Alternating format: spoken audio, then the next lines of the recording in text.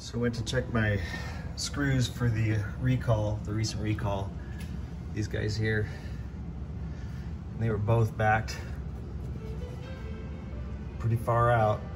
I've uh, put high strength thread locker on them now. And then I think I'm gonna crimp the threads at the end before when the thread locker dries. But uh, yeah, mine was mine was one of the ones.